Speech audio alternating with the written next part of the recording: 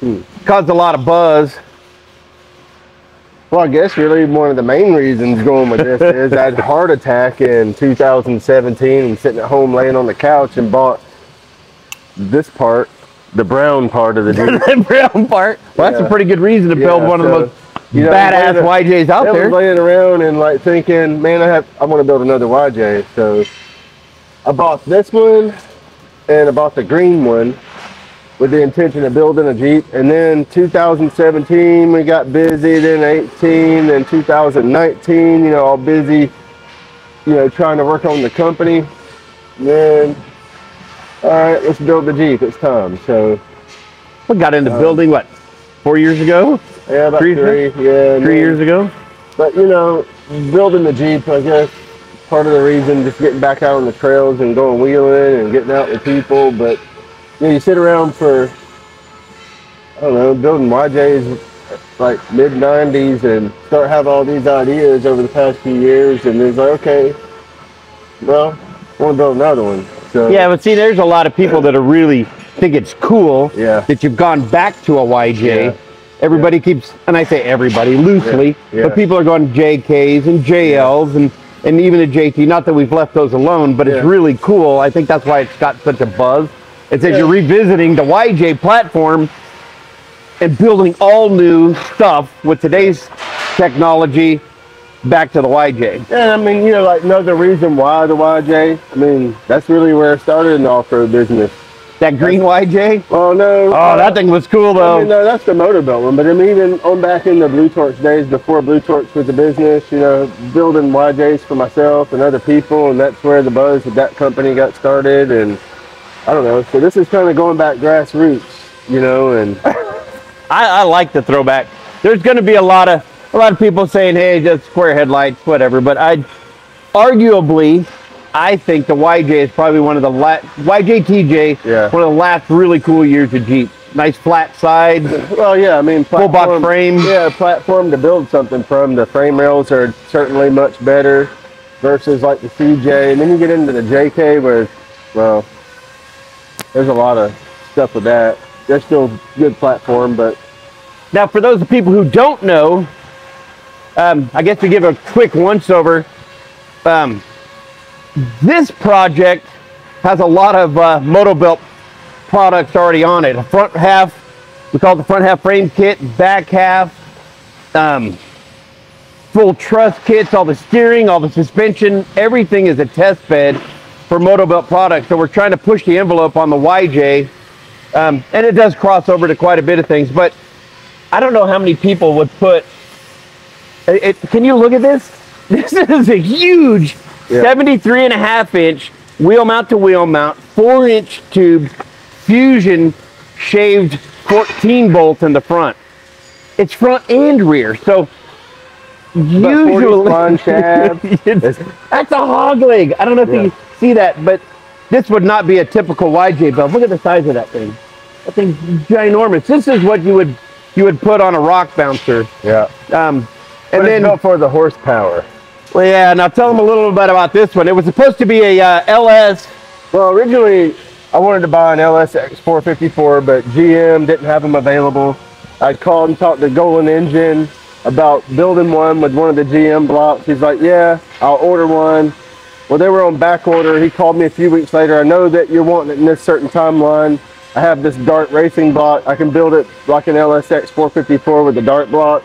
Won't charge you any extra. I'm like, all right. yeah. So he went through the engine, built it, and I think when they were dynoing, it was 12 degrees outside, so it was dynoing, I think 730 at 12 degrees. He was saying, you know, it should hit 750 or better. At, On pump gas. you know, on pump gas at a normal temperature. So um, we'll see what happens. But with that horsepower comes other problems in addition to the, the axles, which is transmission is the next one. So maximum transmission pretty much built a trophy truck transmission with all billet internals, a billet torque converter. So he, was- the, the guy there at uh, Maximum, he's like, well, if you want to want it to stay together with all four tires off the ground and drop it, this is what you should do. So there's about 13 grand later. Here comes the transmission. Whew. And then you're gonna run an Atlas. What's the gearing on the Atlas? Atlas will go three to one for some wheel speed, but we'll have the horsepower to muscle it through some of the crawling. So some of the some of the stuff. What were you thinking about for stall on this thing? um, we're gonna have to go a little higher, probably yeah, in the 2400 range. yeah, yeah. it's, I'm not sure yet. it's a big block, so yeah, it's- you still want to be able to crawl with it though, right? So you don't want to. Yeah, I like the gas pedal though, but I don't know if any of you saw the YouTube videos. Um, we made a trip to uh, Sand Hollow, and Dan was out just beating on the Gladiator. and He smacked the bed a few times, and uh, it was all in testing. But he, man, he doesn't. He's not shying away from the skinny pedal, so that's that's so Yeah. good. It'll be a lot of fun, but you know, I guess it's really built more for East Coast trails because of the width and the engine and wheel speed capability. But we'll still be able to go out and have a good time in Moab and and I don't know. Looking forward to it. You know, with the internal bypass shocks and some of the things we're doing with suspension, being able to put it at speed out on the lake bed in Johnson Valley. So Yeah, I want to jump it. I want to jump Yeah. it really. I just really want to go downtown here in Ozark and like let it rip around the town square. It's going to be extremely loud. I don't know if you can see it, but it's, it's an inch and three. It's huge primaries into a three inch exhaust, all the collectors, um, all stainless. But here's a front half kit. This is the new suspension kit that offering on the YJ. It gets really tight. Oh, the cowl armor, boat sides. Yeah, a lot of products developed during this build that you can, you know, already find on the Motobilt website. Like we've already released the boat side rockers with the updated uh, sheet metal pieces that go inside the Jeep to cover off the hole. We've already released the rear stretch corners, the inner fenders. Um, I don't know. We got a There's shock hoops that are in it. Now this, just just to be absolutely clear, looks super cool. In no way, shape, or form is this cage going to be available on the website. This is a lot of. This is not a, a, a factory or standard cage. we do have a lot of plans like interior wise like the the dash that you see in there is just the beginning we drew up a rough shape we wanted to keep the yj kind of look with this little squared off dash to kind of be a little bit similar to what the factory dash would be but the the plans we have in the center to hold the Racepak and some other options uh, we'll be posting up soon But I like that. I like the the new technology, Racepak Dash, and some of the other stuff. Touchscreen incorporated with the YJ throwback, so it's just really cool hybrid of a, a build. Man, and you see this all the time. Everybody loves this. It's just it's just a taillight bezel with these corners, but incorporated this into quite a few products, even on the JT, the Bob bed. But just a really cool. Well, I mean, too, we'll get the camera in close, but I want to explain why we don't offer this as a kit. That someone could buy this bezel and a tail light kit because if you see these holes, like going around and cutting all of this and making it match up to it, that is it's not gonna happen. no. But so it needs to be made into the corner with this on there. But the other problem is the factory inner fender is running about this height right here. So in order to get that in there, that factory inner fender would be in the way. And if you lowered it, it wouldn't look right. And then two, we don't have it installed right now, but there's a, a fairly large bracket setup that goes on the inside to be able to hold the tail light and the reverse light or auxiliary light, whatever you want to call it. So that's why it's not offered as a kit to retrofit onto something someone already has. We have a couple questions about the fuel cell. So this is still a prototype cell. It's an under the frame fuel cell. I think it's right at 22 gallons. Um, hopefully we'll be releasing this one pretty soon. It's for our uh, back half kit. The whole rear frame section has been replaced. It's up higher and in tighter. This should be available soon. Nice little tap trap door just to keep the fuel out.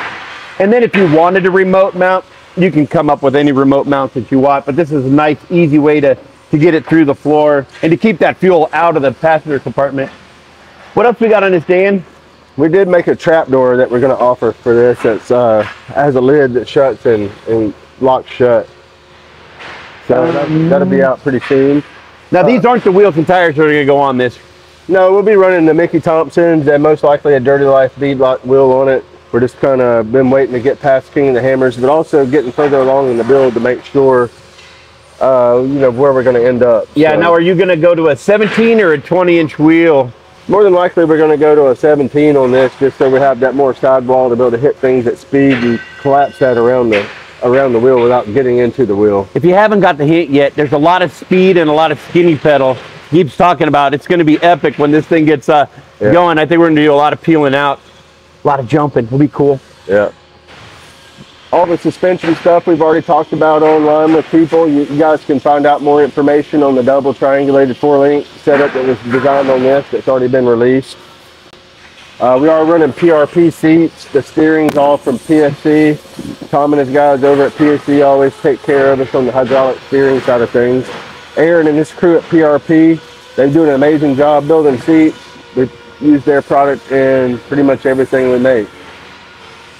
Awesome. Well, I know you're busy man. Thanks for stopping by, and thank you guys for stopping by. Boom. And uh, we'll keep we're going to keep banging away on Yeah, this thing. I still do work. Look, look.